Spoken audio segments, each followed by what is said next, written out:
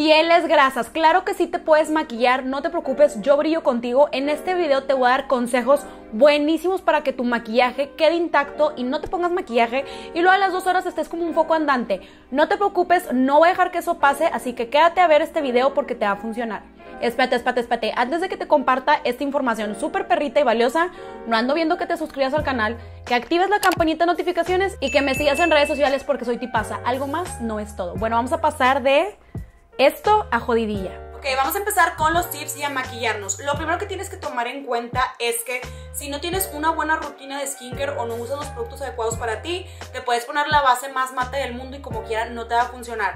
O sea, tanto skincare como maquillaje los dos dependen del otro, pero el primer paso es obviamente implementar tu rutina de skincare. Ya tengo un video específicamente con toda una rutina de skincare para piel grasa, donde te paso mis tips, mis consejos y lo que a mí me ha funcionado. Aquí nos vamos a enfocar más que nada en el maquillaje, pero sí voy a mencionar unos tres productos de skincare que sí o sí tienes que hacer o ponerte antes de tu maquillaje. Ahorita lo que yo he estado haciendo últimamente es hacer una doble limpieza, que es una doble limpieza o double cleansing en inglés.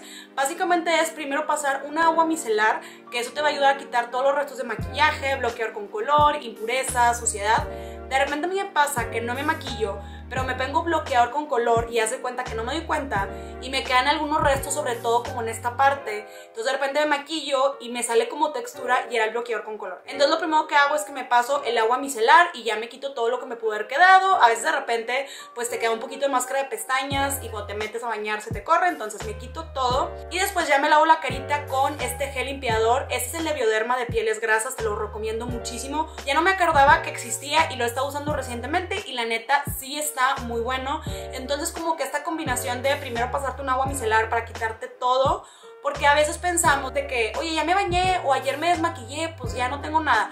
Yo siempre antes de maquillarme, siempre me paso agua micelar porque la neta a veces tu piel se queda con restos de, te digo, bloqueador con color, desmaquillante, impurezas, mugre, de repente a veces no te pones maquillaje y te sale un poquito de mugre en la cara. Entonces, pásate agua micelar, después lávate con un jabón para piel grasa, en este caso yo usé el Evioderma y ahora sí, ya estás como que, digamos que ya un paso para irte a triunfar. El siguiente paso que yo voy a hacer ahorita es que voy a mezclar dos cremas. Ojo, en general a todas las pieles grasas se nos chupa el maquillaje más rápido, obviamente por la grasita que producimos y nos dura mucho menos el maquillaje que a una piel seca.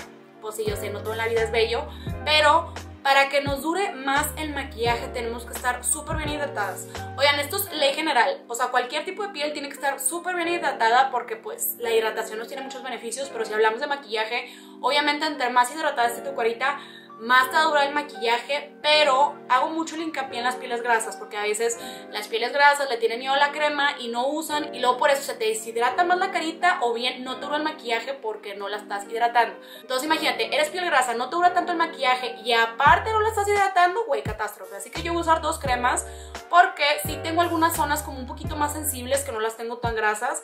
Entonces primero lo que hago es que se cuenta que agarro una crema como más hidratante. Ya tengo un video de cremas para piel grasa que te lo voy a dejar en la caja de descripción para que este video no se haga tan largo. Entonces primero me paso la crema que es como un poco más hidratante, no tan mate, en toda esta zona porque ahí se me pone como un poco más reseca, como más sensible. Y aquí siempre a mí se me chupa muy, muy rápido el blush, entonces ahí me lo paso. Aquí en las orillitas, aquí abajo de la nariz.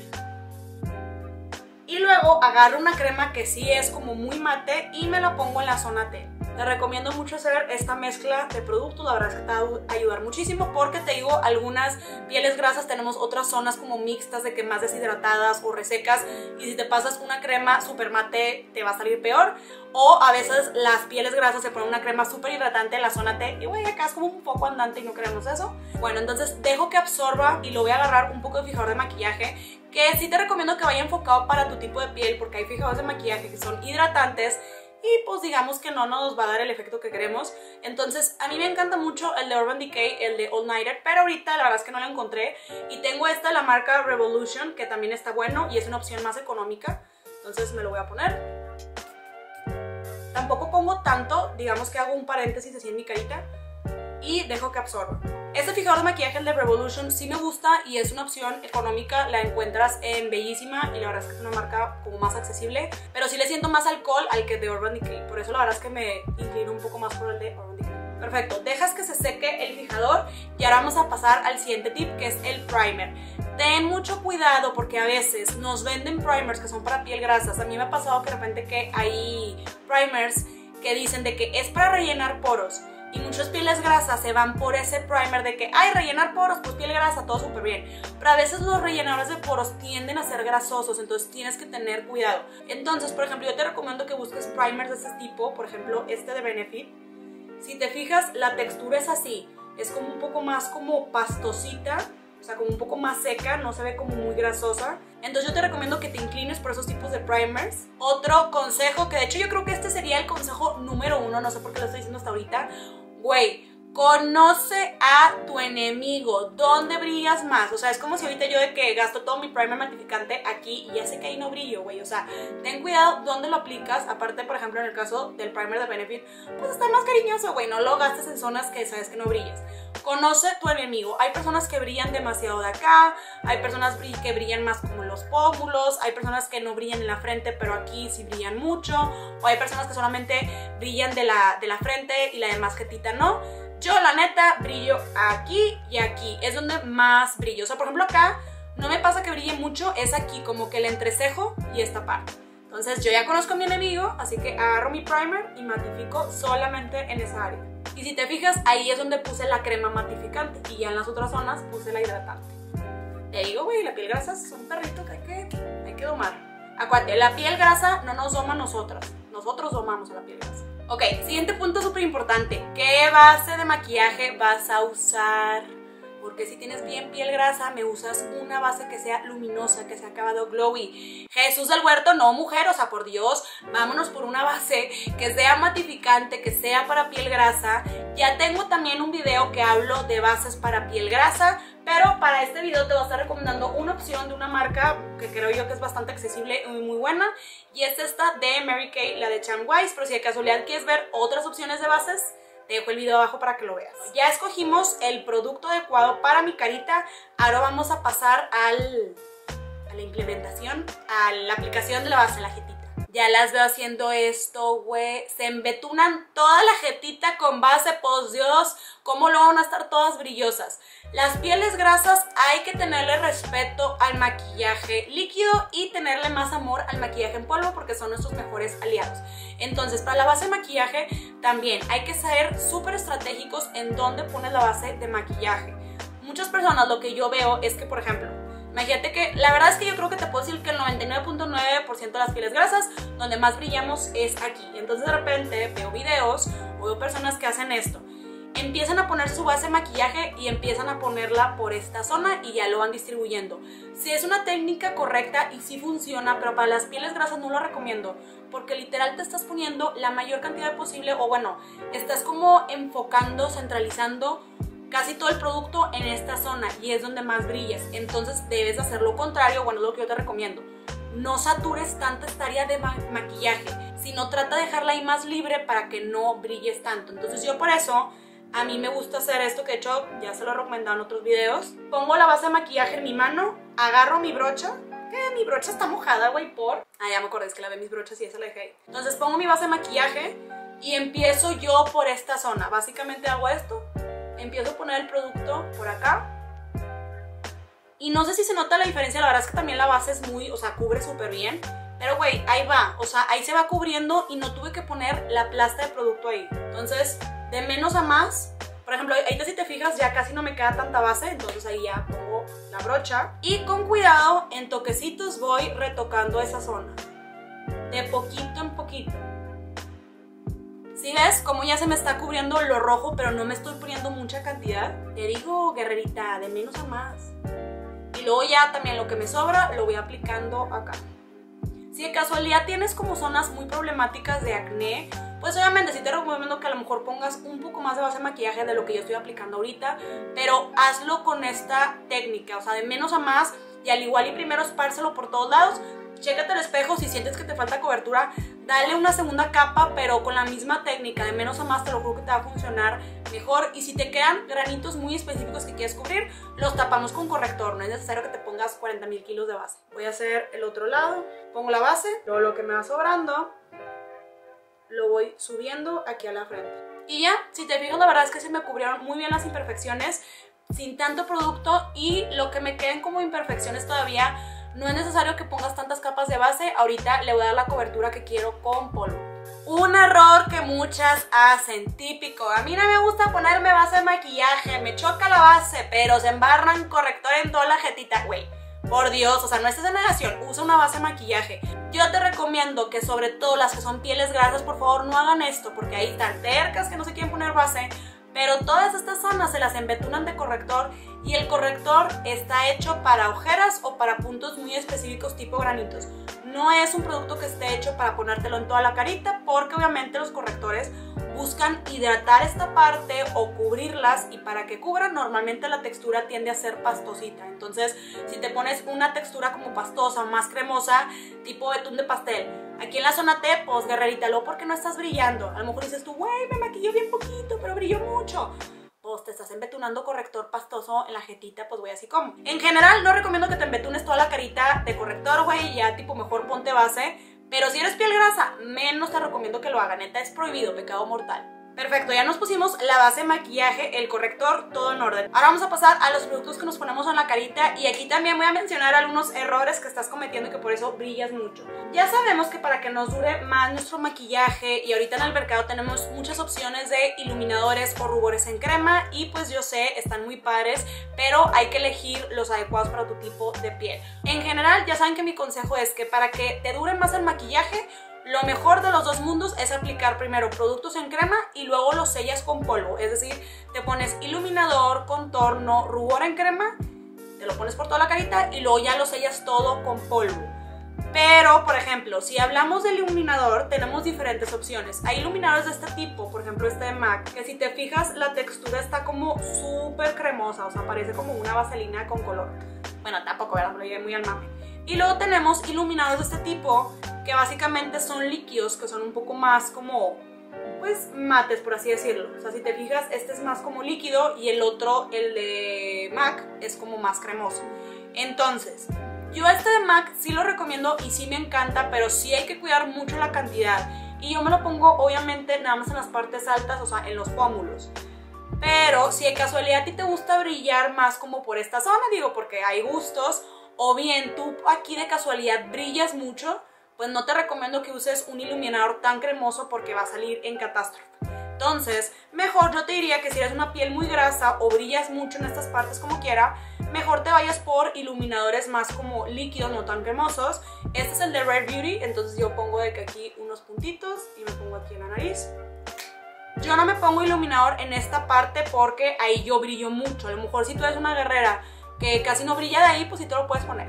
Pero la verdad yo, güey, ahí no ocupo poner mi iluminador porque ya, pues, mi jetita ya brilla por sí sola ahí, ¿verdad? Entonces ya, me pongo el iluminador, tengo la pantallita arriba y ahí me estoy viendo. Perfecto, entonces ahí me está dando mi glow, el iluminador, pero si te fijas, o sea, está como medio mate, como es líquido, no es crema, o sea, si le hago así, o si ves mi carita, no se ve como grasosa o pastosa, se ve nada más con el glow que queremos.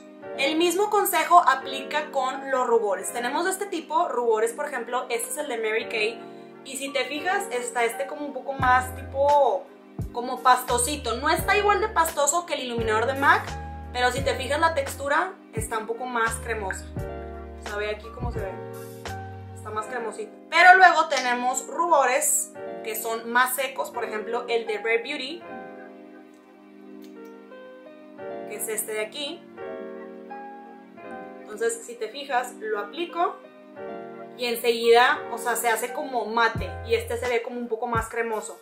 Entonces, pues ahí los rubores, sí vete con cuidado. Yo creo que la mayoría de las pieles grasas en los pómulos no tenemos tanto problema de grasa, entonces dale, huele y si pudieras usar iluminados como el de MAC porque están muy bonitos. Pero el rubor ya es otro tema, güey, porque te lo estás poniendo en toda esta parte y ahí sí brillamos. Si tú eres una piel muy grasa, no te recomiendo que te vayas rubores como muy cremosos, o sea, les tienes que tener respeto. Mejor vete por rubores que sean un poco más secos. Depende también los días. Yo tengo días que soy como piel grasa normal, como medible, aguantable, entonces sí me pongo el rubor de Mary Kay, nada más cuido la cantidad de no poner obviamente mucho aquí. Pero hay días, güey, que no sé, ya sea porque hace mucho calor en Monterrey o está húmedo, está lloviendo y me pongo más grasa. Entonces ahí de plano no recurro a productos como muy cremosos y mejor me pongo como tipo estos, el de Rare Beauty, que son como más secos. Entonces me lo voy a poner aquí Y ya con mi dedo. Mira, me voy a poner del otro lado el de Mary Kay para que veas un poquito lo que te estoy hablando de que está más cremoso. Ve la textura. O sea, este se ve mucho más cremosito que el de Red Beauty que me puse hace rato. De hecho, el de Red Beauty seca así, por eso digo que te lo tienes que poner rápido. Y el de Mary Kay no, la verdad es que sí aguanta. Ok, ahí se puede ver. No sé si se alcanza a distinguir en cámara, a lo mejor ahí no se alcanza a notar tanto. Pero yo, al menos Florencia, sí me siento mucho más mate esta zona a que esta de Mary Kay. O sea, por ejemplo, si me paso el dedo, si lo siento como un poco más mantequilloso. Y si me paso el dedo de este lado, en el de Rare Beauty, sí se siente como más mate, como más seco. Entonces te digo, ahí están las diferencias de usar un rubor como más grasosito a un rubor más seco. Por eso te digo, hay que tener cuidado porque a veces, sí, güey, la carita no nos brilla tanto, pero te pones productos que te hacen brillar más. Entonces a lo mejor no es tanto tu piel, es los productos que usas mismo que te acabo de explicar con los rubores aplica con los contornos en crema. Yo no te recomiendo que uses a lo mejor un contorno que sea ya muy grasoso o muy pastoso. Por ejemplo, los contornos, la mayoría que son así como de, de, stick, Haz de cuenta que es como el de Mary Kay, pero en vez de ser como rosadito, es color de contorno, ¿verdad? Como que café más tipo subtono frío. Yo no te recomiendo que uses tanto esos contornos. Mejor vete por este tipo que sean como texturas un poco más mate. El de Jura Beauty a mí me gusta mucho porque se seca rápido, o sea, no tan rápido que no alcanzas a difuminarlo, pero no siento la cara grasosa, como que está un poco más mate.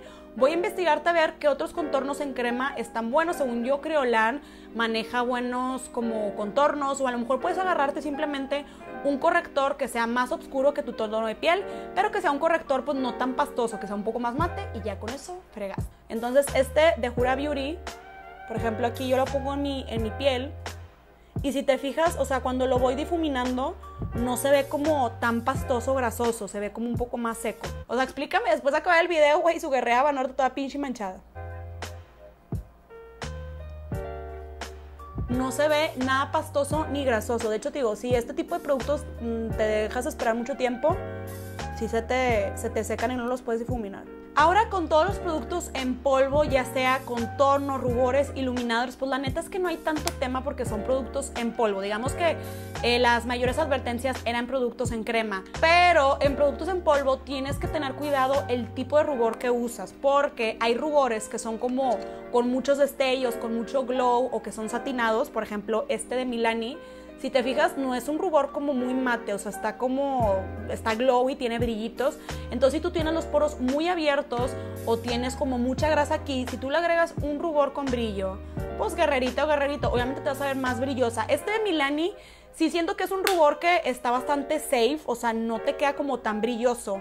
Pero hay productos, por ejemplo, este de MAC, que es como un bronceador, slash iluminador, slash rubor.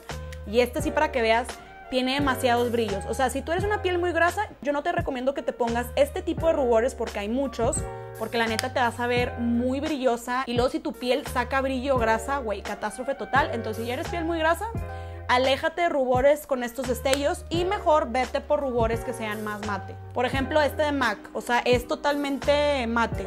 Si te fijas la diferencia, o sea, este todo el glow que tiene y este es totalmente mate. Te digo, si es una piel muy grasa, vete por este tipo. Entonces, esos son mis consejos de rubor en cuanto a contornos. Pues la neta es que un contorno específicamente no va a tener brillos, así que pues es polvo, güey, no hay ningún pex. Pero hablemos del iluminador. De repente veo guerreritas o guerreritos. Yo sé, neta a mí me fascina el iluminador y yo entre más iluminador tenga, mejor, más potra indomable me siento.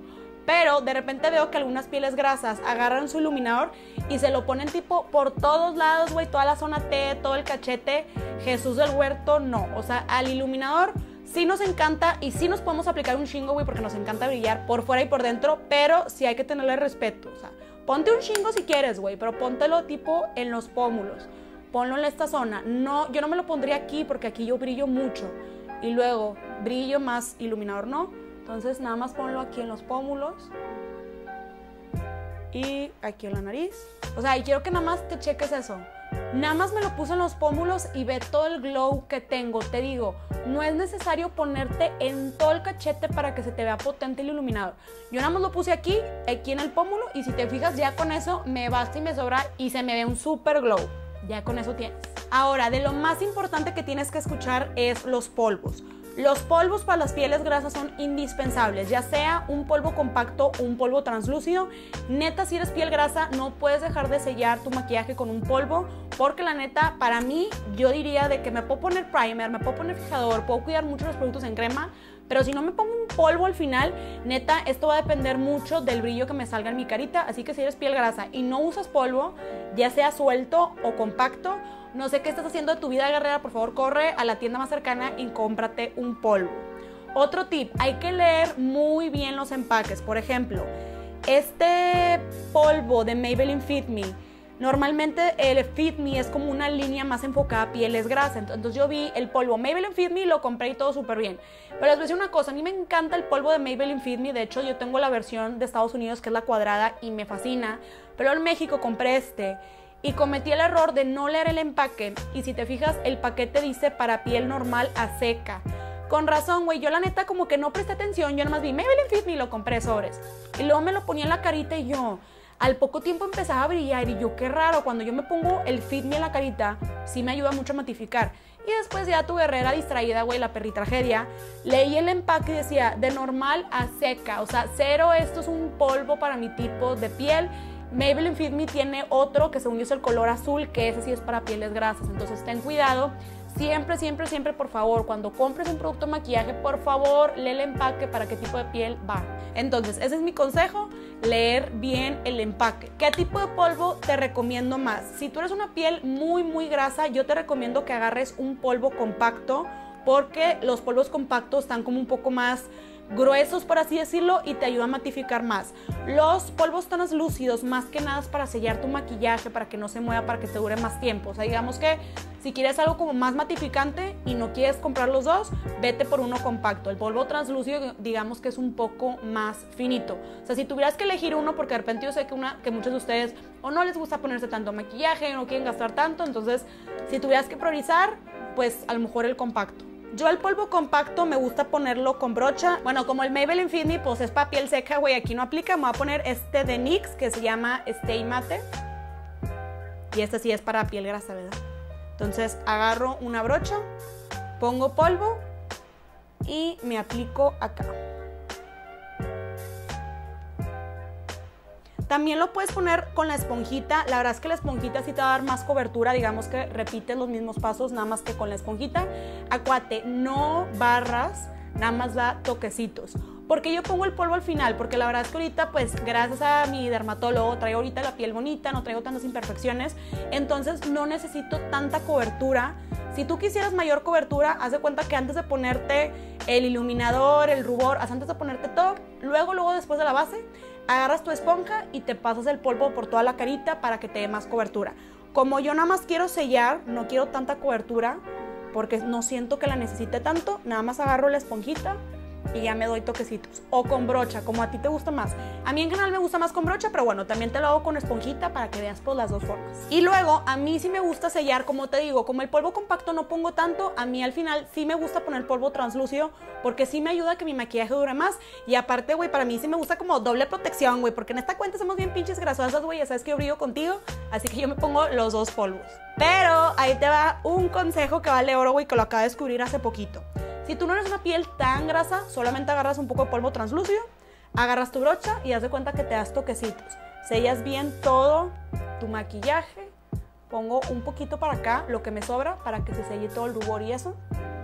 Pero si de casualidad es una piel grasa, muy grasa como yo, güey, neta acabo de descubrir este tip que está buenísimo. Si puedes, consíguete este polvo que venden en nuestro secreto, que hasta ahorita neta sí se está dando un tiro con el de Laura Mercier. O sea, a mí Laura Mercier me encanta y me funciona muy bien, pero este de Kimchi, la verdad es que me gusta mucho por la esponja que trae. Es este que lo venden en nuestro secreto, te voy a dejar el link abajo. Este polvo viene con esta esponja.